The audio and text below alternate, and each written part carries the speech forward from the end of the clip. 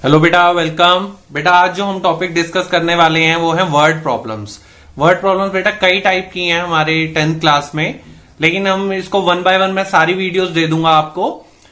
Like age related problem होती हैं up stream down stream तो कई टाइप्स हैं उसके. तो आज जो हम टाइप कर रहे हैं बेटा, वो बहुत ईजी टाइप है. आप इजीली उसको अंडरस्टैंड कर सकते हैं. कई बच्चे इनको भी नहीं समझ पाते, इसलिए मैं सोच रहा हूँ कि ये वीडियो भी आपको दे दी जाए. देखिए बेटा सबसे पहले तो अभी देखिए, इसके अंदर बात हो रही है बैट और बॉल खरीदने की। ठीक है? बैट्स एंड बॉल बाय करनी है। आप सबसे पहले ये सोचिए, अगर आपको बैट और बॉल बाय करने के लिए जाना हो तो आपको क्या चीज़ें पता होनी चाहिए? एक तो पता होना चाहिए कितने बैट, कि भाई जैसे अगर आपको फाइव बैट चाहिए, और एक बैट कितने का है वन बैट का प्राइस भी पता होना चाहिए। ठीक है? मान लो फाइव हंड्रेड रुपीज़ का। गॉट इट तभी तो आप बता पाओगे कितने के बैट्स आएँगे। इधर भी यही बात कर रहे हैं भाई इतने रुपीज़ का ये सामान आएगा तो भाई ये दोनों चीज़ें आपके पास होनी चाहिए। बॉल भी ऐसे ही, अगर मान लो आपको टेन बॉल्स लेकर आनी है और एक बॉल फिफ्टी रुपीज़ की है, तभी तो आप टोटल बिलिंग कर पाओगे उसकी। तो यहाँ पे यही प्रॉब्लम है। वो कह रहे हैं थ्री बैट्स लाने हैं आपको और सिक्स बॉल्स लेकर आनी है। और कितने रुपीज़ में लानी है? थर्टी नाइन हंड्रेड रुपीज़ का उसका बिल रेडी हो रहा है। लेकिन ये नहीं बता रहे कि भाई वन बैट कितने का है, वन बॉल कितने का। बिल बता रहे हैं टोटल कि भाई इतना खर्चा आपका आएगा। गॉट इट अब इस क्वेश्चन में प्राइस ये तो हमें क्वांटिटी तो दी हुई है। ये देखो क्वांटिटी दी हुई है। तो हम प्राइस क्या करेंगे? बैट के प्राइस को भाई एक बैट हमारा कितने का एक्स रुपीज़ का नहीं दे रखा तो हम क्या करें? यही करना पड़ेगा ना। और अगर बॉल का देखें तो हम बोलेंगे भाई, चलो ठीक है, तुम नहीं दे रहे हमारे को भी कितनी, कितने रुपए की बॉल है? तो हम वन बैट के और वन बॉल के रेट को अपने पास से एज्यूम करते हैं। तो this is the first step rupees X और रुपीज़ वाई टू वेरिएबल का बेटा पूरा चैप्टर ही टू वेरिएबल्स पे है। Linear equation in two variables तो देखो वन बैट का प्राइस हमने एज्यूम कर लिया और वन बॉल का। अब आप मुझे बताओ, अब वन फाइव अगर बैट्स हैं, ठीक है, और फाइव हंड्रेड का है तो टोटल बैट्स कितने रुपीज़ के आएँगे? आप मल्टीप्लाई करते हो ना। अब मैं क्या करता हूँ फाइव ही बैट्स हैं लेकिन ये जो प्राइस है, इसको मैं कह रहा हूँ एक्स है। तब भी तो मल्टीप्लाई रहेगा कॉन्सेप्ट थोड़ा ना चेंज हो जाएँगे। तो फाइव एक्स यानी आपके बैट कितने रुपीज़ के आएँगे? फाइव एक्स रुपीज़ के। अब वो कह रहे हैं थ्री बैट्स बताओ कितने के आएँगे, और सिक्स बॉल्स भी बता दो। तो हम बोलते हैं, चलो भाई थ्री बैट्स तो आएँगे, क्योंकि वन बैट एक्स रुपीज़ का है। तो थ्री बैट्स कितने के हुए? थ्री एक्स रुपीज़ के।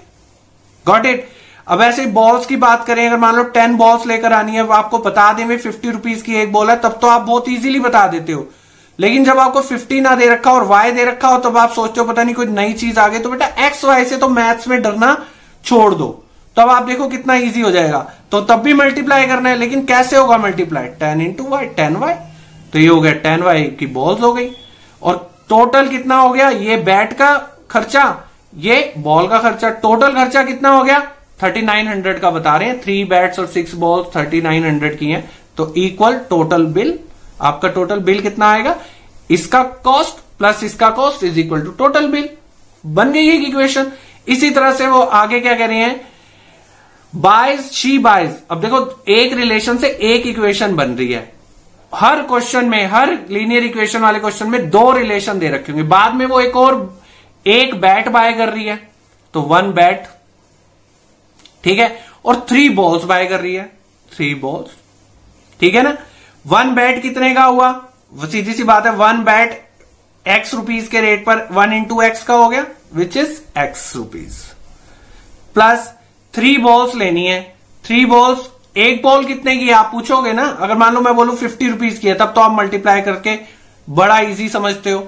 लेकिन जब अगर वो वाई रुपीज़ की हो जाती है तो आप सोचो पता नहीं अब क्या करेंगे। तब भी यही करेंगे multiply three Y.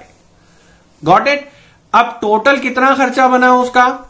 Thirteen hundred. बेटा, बहुत इजी टाइप के क्वेश्चन होते हैं। Is equal to thirteen hundred. ये सेकेंड इक्वेशन यहाँ तक का जिसने काम कर लिया तो बेटा, आगे आने वाले चैप्टर के अंदर आप बहुत कुछ इनको सॉल्व करना ग्राफिकल मेथड से एलिमिनेशन से, कई मेथड से इनको सॉल्व भी कर सकते हो। लेकिन वर्ड प्रॉब्लम की मेन चैलेंज क्या है? इस वर्डिंग्स को पढ़कर, इस स्टेटमेंट को पढ़कर इक्वेशन तक पहुँचना। और वो कई टाइप की वर्ड प्रॉब्लम्स आपके सामने आएँगी। आप मेरे साथ जुड़े रहो। बेटा सारे टाइप की वर्ड प्रॉब्लम करवाऊँगा और इतने अच्छे सिस्टमेटिक तरीके से करवाऊँगा कि आपको प्रॉब्लम ही नहीं आएगी एग्ज़ाम में।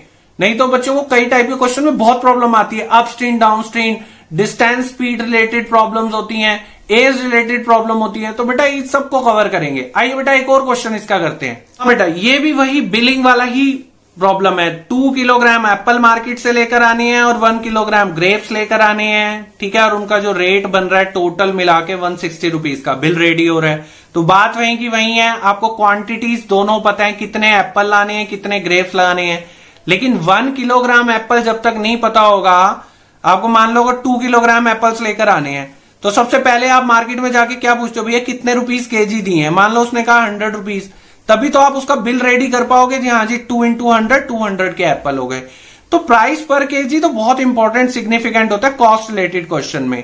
तो ये देखो वन किलोग्राम एप्पल को हम वही एक्स रुपीज़ मान लेते हैं, जैसे हमने पीछे बैट बॉल वाले क्वेश्चन में माना था, और इसको हम वाई रुपीज़ मान लेते हैं। ठीक है? अब फिर वही बात आती है टू किलोग्राम एप्पल्स ठीक है, किस रेट पर बाय करने हैं? एक्स के रेट पर बाय करने हैं। तो कितने रुपए के बनेंगे? टू एक्स रुपीज़ के।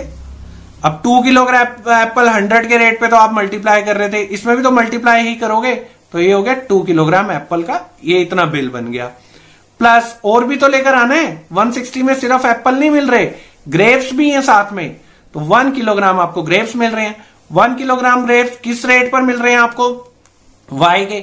अगर वन किलोग्राम रेट्स अगर हंड्रेड रुपीज़ पर के जी मिल रहे हो, तब तो आप सीधा हंड्रेड लिखोगे, लेकिन वाई के रेट पे मिल रहे हैं तो वन इंटू वाई वाई हो जाता है। तो दिस इज़ वाई और टोटल कितना बिल रेडी हो गया इन दोनों का? उन्होंने बोला है वन सिक्सटी में दोनों चीज़ें मिल जाएँगी। ये इसका बिल प्लस इसका बिल मिलाकर वन सिक्सटी रुपीज़ बन रहा है।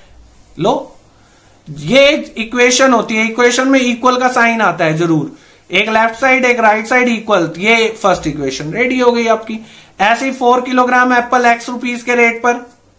कितने हो गए? फोर एक्स लो फोर इंटू एक्स ठीक है? Plus two kilogram grapes one kilogram grape y के हैं. टू किलोग्राम ग्रेप्स अगर मान लो हंड्रेड रुपीज़ किलो ग्रेप्स हो, तब तो आप टू हंड्रेड बताते हो ना आराम से. और टू किलोग्राम एप्पल अगर आपको वाई रुपीज़ पर केजी के हिसाब से लाने हो तो कितने के बनेंगे? टू वाई के ना? तो एक्स वाई से बेटा बिल्कुल भी परेशान नहीं होना. ठीक है, इसको बड़ा कैजुअल सा लेना है. ये इसके अंदर ये बिलिंग वाले हमारे डेली रूटीन की चीज़ें होती हैं.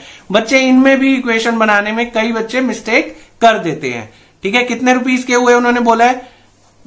फोर किलोग्राम एप्पल और two kilogram grapes. Four kilogram में टू किलोग्राम ग्रेप्स। कितने रुपीज़ के बनते हैं?